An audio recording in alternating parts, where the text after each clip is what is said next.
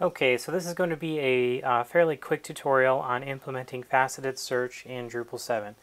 Now, what do I mean by faceted search? Well, if you go to any website like any major website that sells a lot of products like Amazon, and uh, we'll just jump into, sure, digital music. Um, a lot of times what you'll see um, when you're you know browsing through these sites is a list of categories on the left that allow you to sort of filter by a particular, you know, given set of um, selections. So um, this is what, what we mean by faceted search, where you see a bunch of um, items that have particular categorizations, and you see a list of categories that lets you sort of drill down and filter uh, among all those different um, items. So we're going to go ahead and uh, implement the same sort of functionality in Drupal. Uh, the first thing we're going to do is cover um, the modules that you'll need to install and enable. So first we're going to do, uh, you need to have Entity API installed. This is a, um, a dependency of one of the, the major uh, modules that we're going to be using called Search API. Uh, you're also going to want to get Pathauto installed um, along with its dependency, the token module, uh, so that we can uh, also implement pretty pretty aliases, pretty paths. Uh, Search API, which is where all the magic happens. And then also um, we're going to um, enable or install and enable Search API database search. So instead of using a, um, a more expensive solution like Solr, which um, you know typically is not available on sort of introductory shared hosting plans, um, this module, Search API Database Search, will let you actually use an index um, in a in a MySQL database instead. So it's a little bit uh, less expensive, um, and you don't have to worry about implementing, you know, an entire an entirely different search engine either. It's completely contained within Drupal. Uh, this is uh, ideal, you know, mostly for smaller, you know, less heavily trafficked sites with, you know, maybe thousands of items or hundreds of items, more preferably, I believe. Um, you know, and if you as you start to get more if, if that's you know if it's going to be a, a, a, site like you know like an Amazon competitor, you're probably going to want to switch to um, a more efficient solution like Solr. But for smaller websites, um, small businesses, maybe selling products, this should actually be ideal. Uh, we're also going to need to install the Facet API, which is the module that will take care of handling all of the faceted searches and then also Facet API Pretty Paths, which is sort of an accompaniment to the Facet API module just to make um, the URL aliases look a little bit uh, look a little nicer. All right, so once you get all those installed, we're going to go ahead and enable a bunch of them. And I've actually already uh, enabled them, so I'm just going to cover which ones you need to check off. Uh, so we got Pathauto, Entity API, uh, Search API, as well as search facets. We're also going to uh, have search views selected. I'm going to show you how to create a view um, and then use that view to um, how to filter uh, using facets uh, in that view. And also database search. This is um, the Search API database search module. Uh, facet API. Uh, facet API pretty paths, and you don't need Facet API multi-select. Um, and then you're also going to have uh, views if um, you want to follow along and create a view. All right, so the next thing that we need to do is we actually need to create a custom server that's going to index all of our um, all of our products. So uh, you're going to go into configuration and then search API and add server. We're just going to call it products. And for the class, you're going to choose database service. That's fine, you can hit create server. Okay, now we're going to actually have to go back and uh, create an index now. It's going to be for products. And it'll be on nodes.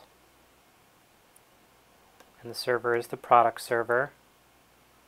And I'm going to check this box now. I believe on sites that have um, more items that it's indexing than less, you're probably going to want to leave that unchecked so that it's not, um, you know, so intensive on uh, on your server, but we're just going to go ahead and uh, set this up for right now. Uh, now we're going to go ahead and select the different fields index. I have three different taxonomy fields associated with this with a custom content type um, called product, and those taxonomy terms are uh, color, size, and price. And I've only added a few terms each of these. Um, I think there are four different products that use a combination of the different taxonomy terms, but you're just going to hit save. Um, so the fields basically, those are all these boxes here that you check for fields. Those are the, the fields that you're going to want uh, facets to be able to filter through. So you'll check any boxes that you're going to want to be able to cat, you know, be, have the customer or whoever, the user of the site, filter through. Um, you don't need to uh, do anything on the filters tab. Uh, the next tab we're going to look at is facets. And these three are already checked. Um, so we have uh, color, size, and price. And by checking these boxes here, it's going to create new blocks that you can administer um, that will have a list of all the terms. Um, and it'll allow you to actually filter through uh, the categories. Um, I'm going to just go ahead and show you a couple of the different displays that you have as options to you. So by default, just links is checked. And I'll show you what that looks like in a moment, but we're going to choose links with checkboxes. And the idea here is, well, you know, and this is going to be for color. So if the customer or whoever's using the site wants to see all of your blue and yellow items, then they're going to be able to check multiple checkboxes. And the faceted search will actually come back and show them all the products that are blue and red, for example. Um, now, in order for this to work, you're going to have to change the operator to OR. Um, otherwise, as soon as you click a checkbox, it's just going to um, isolate your search to that one term. So if you use OR, then it allows you to actually like select multiple boxes at the same time. Facet API Pretty Path gives us an option of creating a Pretty Path alias. Um, normally you'd see something like field underscore color, which would end up appearing in your URL. And, uh, you know, it'd be like question mark field underscore color equals and then a list of the different colors that you've selected. So we're just going to choose color and uh, I'll show you what the, uh, what the pretty path looks like a little bit later. Um, save that and then go back. And now for size, we're just going to leave that. We're going to change this to links and and and we're going to do the same thing for price. We're just going to leave it as links, so that's good. Okay, so now we have set up all of our facets. Um, now we need to actually go back to the index and actually index our items. Okay, so we're going to hit index now. So there's only four. So it, it, it'll index fairly quickly. Um, and now whenever you create like a new product, um, whenever cron is run, it will re-index those new items. Um, so you don't ever have to really go back in here again. I'm just doing it now to set it up initially. Um, the next thing we're going to want to do is enable the uh, pretty path uh, Facet API pretty paths. And uh, so just make sure that these boxes are checked here. And then you'll save. And next what we're going to do is we're going to actually create a custom view.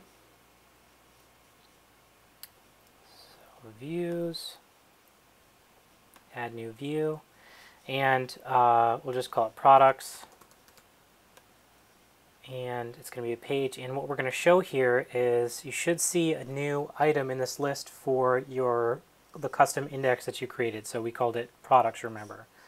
So now what this will do is it'll actually serve us up a view and it'll give us um, a list of fields that um, are part of the index. So mostly node items. So that should be good. We can hit continue and edit and we'll modify some of these fields we're just going to add the title and the image.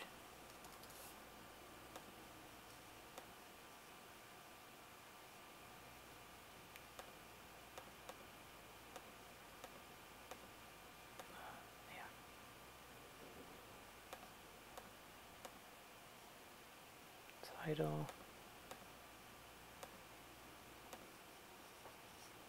And we're going to get rid of this node ID. Alright, so there you go. Alright, so now that our um,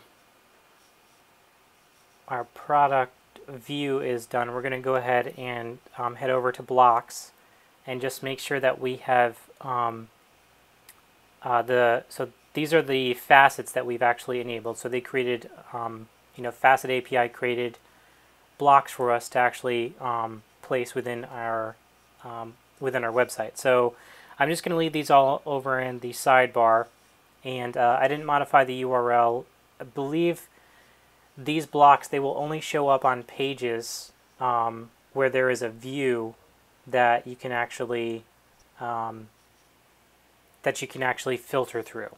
So, um, like if I'm pretty sure uh, I didn't change the URL, so it's it should it's set to currently show all three of those blocks on all pages, but they won't show up on the front page, for example. So, just go ahead and view products. We'll see the list of um, filters here on the right, and uh, so you'll see um, the different types of widgets that we have available to us. So we have price, um, well, sorry, the widgets. Um, these first two, price and size, we just selected links. Um, the, the second uh, widget type is links with checkboxes. And you'll remember that I um, had changed the operator to OR. So now we should be able to actually check one of these boxes and it'll reload the page with a nice pretty URL and show us only those items that are red. And uh, we can also uh, check another box and it'll actually show us all the items that are red and blue. Um, now, if we went ahead and uh, clicked on small, well, actually, let's see here. So right now it's showing us a large truck and then two small items that are both red and blue. So if we hit um, small now, the truck should be gone, and it'll just show us the um, the two small items now. Um, so that's how these different widgets work, and you'll see how the different um, how the how the pretty paths are showing up. So this is how you implement uh, faceted search in Drupal 7.